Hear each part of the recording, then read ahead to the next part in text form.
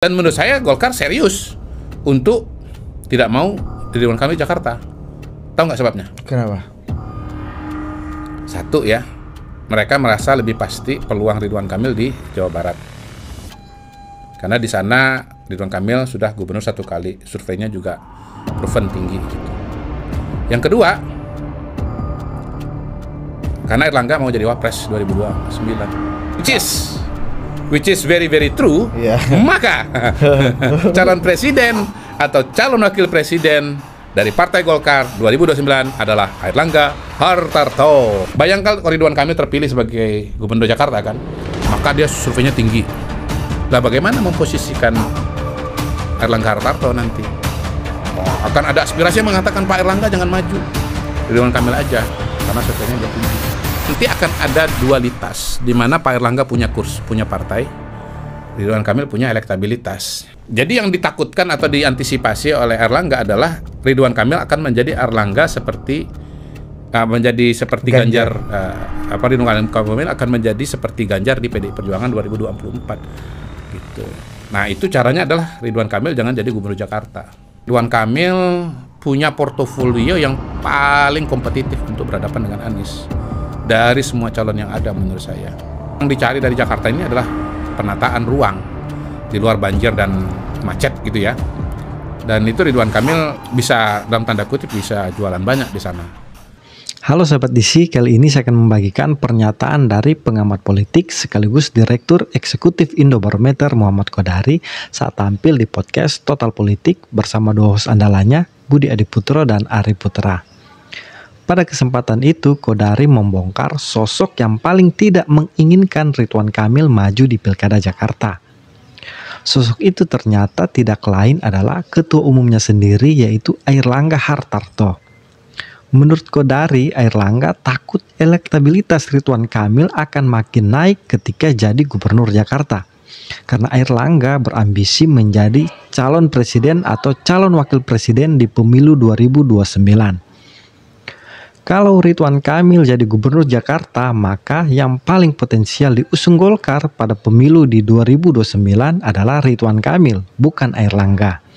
Karena ada kecenderungan yang berhasil memimpin Jakarta akan maju di Pilpres. Contohnya Jokowi dan Anies Baswedan. Tidak perlu berlama-lama, yuk kita simak bersama video berikut ini. Intinya begini, bahwa pasangan Anies dan Soebul Iman pada hari ini pasangan yang sudah paling pasti. Karena kalau kita bicara di Jakarta, salah satu calon yang juga sangat potensial adalah Ridwan Kamil. Diusung oleh Koalisi Indonesia Maju. Tetapi di dalam masih ada dispute ges- pergesekan antara Gerindra dengan Partai Golkar. Gerindra ingin mengusung Ridwan Kamil. Golkar pengen Ridwan Kamil maju di Jawa Barat. Artinya di Jakarta bukan Ridwan Kamil gitu. Jadi apakah kemudian dispute itu selesai atau tidak walau alam. Walaupun tanpa Golkar setahu saya Gerindra bersama dengan PAN bersama dengan Demokrat itu sudah cukup gitu. Apalagi kalau misalnya ditambah dengan Partai Nasdem. Gerindra Pan aja udah cukup kan? Hah? Gerindra Pan. Iya, iya, iya, iya. Jadi eh, ya saya nggak apal ya hitung-hitungan eh, kursinya. Yang saya ingat itu ya paling tinggi PKS 18 kursi, PDI. PDI 15 kan. Lalu sisanya ya 10, 8 kira-kira begitulah. Jadi intinya sih walaupun tanpa Golkar masih bisa maju. Dan per hari ini ya yang sudah paling definitif justru adalah Anies. Suka nggak suka gitu. Silakan kalau mau kencing atau mau pertimbangan kencang. kan begitu. Lo tadi balik lagi, PDI belum cukup sendirian kan? Nggak cukup dia. Nggak. Sehingga kemudian dia harus menambah partai politik lagi. Dia mau nambah dari mana sekarang? Belum ketahuan itu. Koalisi Indonesia Maju masih ada pro kontra mengenai Ridwan Kamil. Dan yang pro kontra ini dua partai besar. Gitu. Kalau partai besar dengan partai kecil pasti partai kecilnya ngalah. Tapi ini dua partai besar gitu. Dan menurut saya Golkar serius untuk tidak mau Ridwan Kamil Jakarta. Tahu nggak sebabnya? Kenapa? Satu ya, mereka merasa lebih pasti peluang Ridwan Kamil di Jawa Barat. Karena di sana Ridwan Kamil sudah gubernur satu kali, surveinya juga proven tinggi gitu. Yang kedua, karena Erlangga mau jadi wapres 2029. Kalau Ridwan Kamil di Jakarta dan Jakarta adalah panggung strategis untuk Pilpres 2029 yang akan datang, Maka- which is which is very very true, Iya. maka calon presiden atau calon wakil presiden dari Partai Golkar 2029 adalah Airlangga Hartarto. Eh, Ridwan Kamil. Gini loh, Kan strategis. Gini, Kalau Ridwan Kamil kalau Ridwan Kamil di sini Ridwan Kamil. Tapi kalau Ridwan Kamil di Jawa Jawa, Barat. seperti sunarionya Golkar, Golkar. kita pakai istilah apa namanya Sri Mulat, Sri Lumat. Sunario. Hil yang itu itu bukan hil yang mustahil ya. Jadi kalau sunarionya seperti itu, maka ya Ridwan Kamil di Jawa Barat dan eh, ya nggak punya anu, nggak punya apa namanya Golkar itu ya nggak punya Anu. nggak punya calon dua. Calonnya tung- tunggal aja. Bayangkan kalau Ridwan Kamil terpilih sebagai gubernur Jakarta kan, maka dia surveinya tinggi. Lah bagaimana memposisikan Erlangga Hartarto nanti? Oh, akan ada aspirasi yang mengatakan Pak Erlangga jangan maju. Ridwan Kamil aja karena surveinya dia tinggi. Meskipun Pak Erlangga juga punya panggung kan. Misalnya jadi Jadi gini, lagi. nanti akan ada dualitas di mana Pak Erlangga punya kurs, punya partai, Ridwan Kamil punya elektabilitas gitu. Tapi kalau Ridwan Kamil di Jawa Barat dan asumsinya Jawa Barat ini panggung yang tidak sestrategis Jakarta, surveinya Ridwan Kamil nanti so and so aja gitu loh. kayak Puan dan Ganjar di 24. Ah, eh, ya jangan jadi Ridwan Kamil jangan jadi Ganjar. Jadi yang ditakutkan atau diantisipasi oleh Erlangga adalah Ridwan Kamil akan menjadi Erlangga seperti ah, menjadi seperti Ganjar. Ganjar, ah, apa Ridwan Kamil akan menjadi seperti Ganjar di PDI Perjuangan 2024 gitu. Nah, itu caranya adalah Ridwan Kamil jangan jadi gubernur Jakarta. Gitu. Sehingga ya akhirnya pertimbangannya cuma satu aja soal kursi partai. Syukur-syukur kalau Pak Erlangga waktu itu bisa diangkat elektabilitasnya. Tapi bener nggak yang punya peluang paling besar untuk mengalahkan Anies ya Ridwan Kamil? Menurut saya per Bukan hari ini ya kualitatif ya. Saya nggak ngomong survei ya karena saya belum survei ya. Saya belum survei nih. Ini kualitatif nih. Menurut saya ya memang Ridwan Kamil. Kenapa Ridwan Kamil punya portofolio yang paling kompetitif untuk berhadapan dengan Anies. Dari semua calon yang ada menurut saya. Karena satu dia sudah pernah wali kota, yang kedua dia udah pernah gubernur. Ketika dia wali kota Surabaya dia menata kota eh menata ketika dia wali kota Bandung dia menata kota Bandung. Ya kan? Trotoar yang lebar banyak taman. Hemat saya Jakarta ini dengan dengan dengan orientasi bisnisnya adalah sebagai apa wilayah untuk mais ya meeting apa convention segala macam ibu kota. Ya yang dicari dari Jakarta ini adalah penataan ruang di luar banjir dan macet gitu ya. Dan itu Ridwan Kamil bisa dalam tanda kutip bisa jualan banyak di sana. Gitu. Eh, terus karena dia pernah gubernur Jawa Barat maka dia bisa bicara juga. Interaksi dan penataan Jakarta dalam hubungannya dengan kota-kota satelit seperti Depok, Bekasi, Bogor itu kan Jawa Barat semua itu. Cianjur. Ah, ya Cianjur juga betul karena bicara ini ya resapan air segala macam. Jadi menurut saya yang paling kompetitif dengan Anies ini memang Ridwan Kamil secara kualitatif. Gitu. Tapi itu bahaya. Dan di Bro. sem- kesempatan yang lain saya sudah pernah cerita, sebetulnya ada tangan Ridwan Kamil juga penataan kota Surabaya itu. Karena Ridwan Kamil waktu wali kotanya adalah Bambang Deha, itu adalah konsultannya Bambang Deha untuk penataan Surabaya. Jadi penataan Surabaya itu identik dengan Bu Risma. Tapi sebetulnya udah dimulai dari zamannya Bambang Deha. Nah, waktu Bambang Deha wali kota ke, ke kepala dinas pertamanannya kalau nggak salah itu Bu, Bu Risma. Habis itu Bu Risma digandeng ya oleh Pak Bambang Deha menjadi wakil. Ya, Pak Bambang Deha nggak bisa maju lagi, yang maju adalah Bu Risma. Bu Risma. Seingat saya begitu.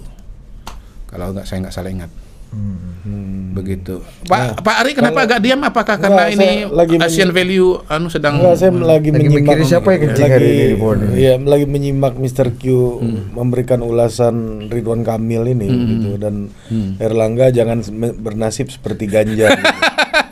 Benar juga. Tapi jadi gubernur Jawa Barat bukannya lebih dekat bernasib seperti Ganjar dibandingkan Gini, DKI. gini, kalau kita bicara proyeksi pada hari ini, maka kemudian ya eh, ya tetap Jakarta yang akan jadi panggung. Intinya begini deh, di an- kan nih, wilayah yang strategis menuju pilpres itu ada ada tiga, empat lah. Jakarta, Jawa Barat, Jawa Tengah, Jawa Timur. Jawa Barat, Jawa Tengah, Jawa Timur itu karena populasinya besar. Jawa Ja- Jakarta karena ini panggung, ini etalase nasional, semua media ada di sini. Eh, kasus 2024 di mana Ganjar itu melonjak, itu sebetulnya ada situasi khusus. Karena Pak Jokowi sudah nggak bisa maju lagi. Dan Pak Jokowi sangat populer. Dan ketika nggak bisa maju lagi, maka kemudian orang mencari-cari siapa penerus Pak Jokowi. Nah, yang asosiasinya, ini psikologi nih, yang eh, proximity-nya, asosiasinya paling kuat adalah Ganjar. Ganjar. Satu, sama-sama berasal dari Jawa Tengah seperti Pak Jokowi. Sama-sama PDI Perjuangan seperti Pak Jokowi. Bahkan saya tambahkan lagi nih. Karena ada faktor Covid. Gitu.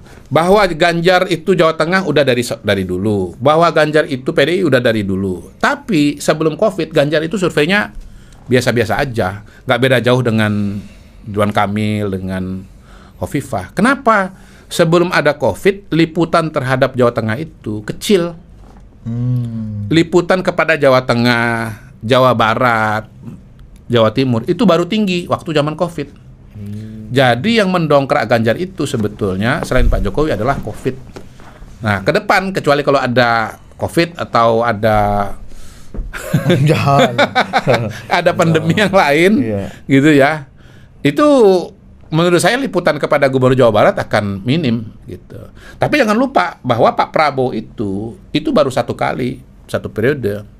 Kalau misalnya 2029 Pak Prabowo itu sudah dua periode nah baru orang nyari-nyari.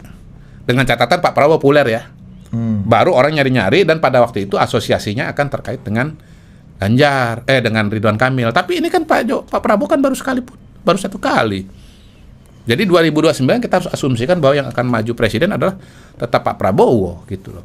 Dan Mas Gibran juga. iya dan karena Prabowo itu kuat di Jawa Barat dan Ridwan Kamil itu dari Jawa Barat maka saya kira surveinya Ridwan Kamil kita bas- kita bisa pastikan akan kecil. Kenapa?